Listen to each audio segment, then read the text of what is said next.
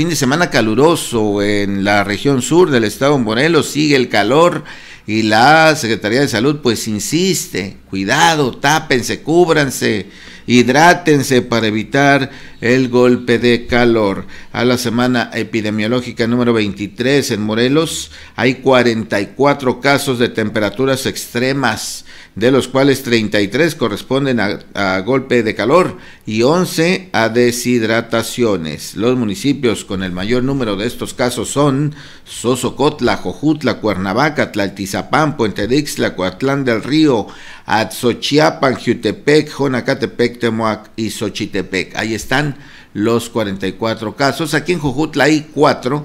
Eh, se han presentado cuatro en los últimos días, según lo confirmó el director de Protección Civil. Así es que se llamó a la población a estar hidratados, tomar agua simple y potable o hervida, evitar el consumo de bebidas alcohólicas, energetizantes o refrescos. Sí, no, no. Que una cerveza para la calor, no, tome agua. No, pero es que nada es que el agua no me quita la sed, pues ni modo. El agua es lo indicado para estas altas temperaturas y desde luego alimentarse bien, consumir frutas y verduras, las de temporada, porque ahorita va usted a la frutería y todo bien caro, ¿eh?